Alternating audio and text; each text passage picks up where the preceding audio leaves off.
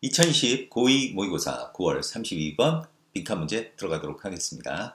자, 이 단락 같은 경우도 이제 핵심이 되는 부분은 선생님이 이렇게 핑크색으로 쳐놨다. 핑크색으로 치는 게 바로 주제문이라고 하겠고, 그리고 이 단락 변형 문제로 있어서 이제 순서하고 문장 넣기 충분히 나올 수가 있어. 그 단서가 되는 부분은 also, for instance, 그 다음 clearly 이렇게 세 부분 이용해 가지고 순서 문제 대비 좀 잘 대비했으면 좋겠다. 그 다음에는 이제 사실 빈칸 문제로 나왔기 때문에 뭐 또 다른 빈칸으로 나올 것 같지는 않은데 어쨌든 뭐 주제 정리하는 거는 뭐 그렇게 어렵지 않으니까 뭐 잘 충분히 준비할 수 있을 거라고 생각해. 물론 어휘 문제도 나올 수는 있어.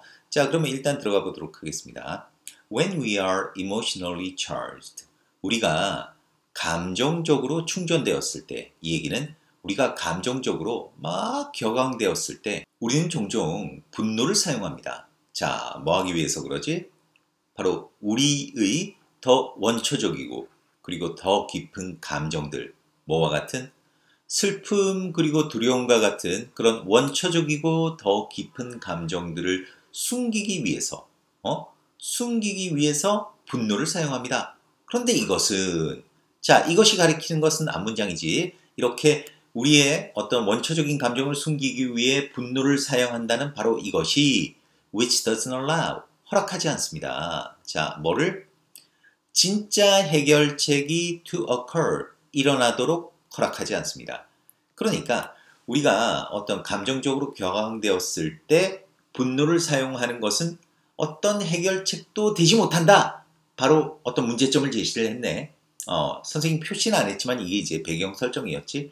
자, 그러면서 그러면 도, 도대체 이런 상황에 어떻게 해야 되는데 바로 이제 그 해결책이 이 글의 주제가 되겠지. 바로 그 다음에 나오는 게 해결책이야. 그래서 나오는 게 너 자신을 분리시키는 것. 뭐로부터? 감정적으로 화나게 하는 그런 상황으로부터 너 자신을 분리시키는 것은 너에게 공간을 주게 됩니다. 자, 어떤 공간이니? 너가 필요로 하는 공간이야. 뭐 하기 위해서?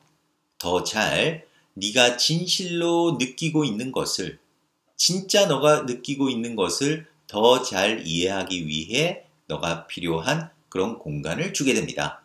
자, 그래 놓고 쏘, 콤마 없으니까 뭐뭐 하기 위해서지? 뭐 하기 위해서? 너가 더 명확하게 너의 감정을 어, 자세히 표현하도록 하기 위해서. 자, 어떤 방식으로? 더 논리적이고, 그리고 덜 감정적인 방식으로 너의 감정을 제대로 명확하게 표현하도록 하기 위해서 자, 어떻다? 바로 너가 필요로 하는 어떤 공간을 주게 된다는 거야. 그러면 실제적으로 이제 해결책으로 나온 게 뭐지? 바로 이거지. 너 자신을 그 감정적으로 화나게 하는 상황으로부터 분리시키는 것. 이게 바로 해결책인 거야. 그리고 이게 바로 주제가 되는 거다. 자, 그러면서 그 다음에 뭐가 나오느냐? 갑자기 a time out. a time out also helps. 이렇게 나와. 그러면 여기서 너희가 또 갑자기 아이씨 타임아웃이 뭐야 이것도 이렇게 할 수 있는데 전혀 당황할 필요가 없어. 왜? also가 있잖니 also. also가 있다라는 거는 그럼 무슨 얘기지? 얘는 또한 이러니까 이 얘에 해당하는 게 뭐야? 앞에 이미 나왔다는 거잖아. 그걸 가리키는 게 뭐지? 바로 선생님이 이렇게 빨간색으로 표시를 했지. 바로 이거지. A time out이 separating yourself from an emotionally upsetting situation인 거야. 이게. 그러니까 이 문제 같은 경우는 또 이렇게 낼 수 있다. 타임아웃이 지칭하는 것을 적으시오. 이렇게 서술형으로 충분히 나올 수 있는 거. 있는 문제다. 그러니까 타임아웃이 의미하는 것을 적으시오. 이런 식으로도 충분히 나올 수 있겠지. 어쨌든 그렇게 주관식도 좀 대비는 해야 될 것 같다. 자, 어쨌든 이 타임아웃을 너희는 뭐라고 알고 가야 되지? 바로 너 자신을 감정적으로 화나게 하는 상황으로부터 분리시키는 거는 거야. 그게 타임아웃이. 이게 또한 이 blank 하는 것도 도와준대. 그러면 이 blank에 대한 내용은 어디 나오겠니? 이제 아래쪽이 나오겠지. 뭘 도와주는지 보면 알게 될 거다. 그래서 when confronted, 직면되었을 때 그 상황과 관계대명사네. 어떤 상황이니? 허락하지 않는 상황이야. 우리가 우리의 감정을 다루도록 허락하지 않는 그런 상황. 또는 해가지고 이거 관계대명사야. 관계대명사 병렬이야. 또는 어떤 상황이야. 바로 cause, 야기시키는 상황이야.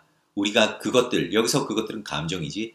그 감정을 억누르도록 야기시키는 그런 상황과 직면되었을 때 그러니까 우리가 우리의 감정을 제대로 다룰 수 없는 그런 상황 또는 우리로 하여금 그 감정을 억누르게 만드는 그런 상황과 직면되었을 때 이런 문제되는 상황과 직면되었을 때 우리는 그러한 감정을 자 전이할지 모릅니다. 전달할지 모릅니다. 누구에게?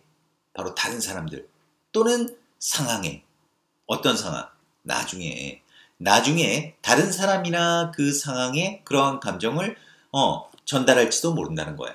그런 감정을 전할지도 모른다는 거야. 근데 사실 이 다른 사람이나 상황은 어떤 사람들과 상황이니 위에서 우리로 하여금 분노하게 했던 그런 상황과는 아무 상관이 없는 사람들일 거야.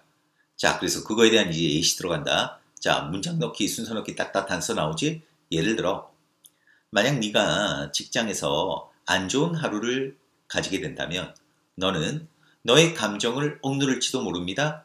왜? 사무실에서는. 음. 그리고 only to니까 결과로 해석해야지. 그리고 발견하게 됩니다. 뭐를? 너가 그 감정들을 대문 감정이지 어, 분출하고 있는 것을 뭐함에 의해서 getting into a fight 어, 다툼을 함에 의해 누구랑 너의 아이들 또는 배우자와 너가 집에 나중에 그날 저녁 돌아왔을 때 어, 다투는 것에 의해서 바로 그러한 감정들을 배출하고 있는 것을 결국 발견하게 된다는 거야. 어? 바로 이런 문제가 되는 상황에 대한 구체적인 예시를 제시했지. 그래서 명확하게 너의 분노는 didn't originate. 집에서 일어나지 않았습니다. 집에서 발생한 게 아닙니다. 하지만 you released it. 그러나 너는 그 분노를 바로 그곳에서, 바로 그 집, 아무 상관이 없는 그 집에서 배출하게 됩니다. 자, 그래서 when you take the appropriate time, 네가 어떤 적절한 시간을 가질 때, 어떤 시간? 너의 감정을 소화하고 그리고 분석한 시간을 가질 때, 바로 이게 뭐니? 이게 바로 타임아웃이지. 이게 바로 타임아웃. 그렇게 타임아웃을 할 때, 자, 너는 뭐 한다?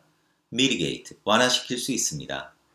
다른 사람들에게 상처 주거나 또는 화나게 하는 것을 완화시킬 수 있습니다. 근데 그 사람들은 have nothing to do with the situation. 그 상황과는 아무 상관이 없습니다.